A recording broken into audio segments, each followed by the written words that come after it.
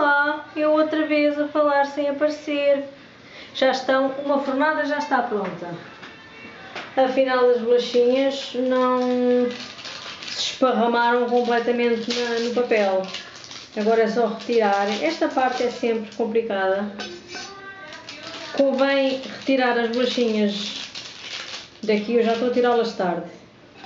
Logo que saem, porque senão elas depois ficam coladas. Estas já estou a tirá-las um pouquinho tarde. Estive a pôr a segunda fornada no, no forno. Estive a tratar da segunda fornada. Isto uma mulher fazer tudo ao mesmo tempo, pá. Mas estão bonitas. Estão lindas. Vou no pratinho.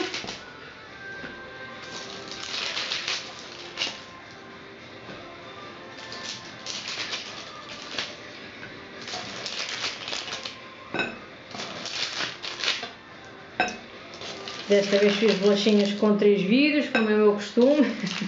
Normalmente eu quando faço receitas assim frente à câmara tenho sempre que fazer mais que um, mais que um vídeo.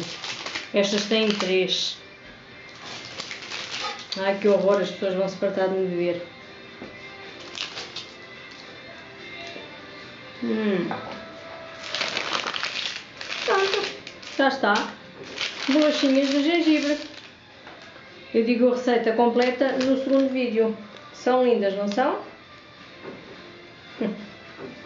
Adeus!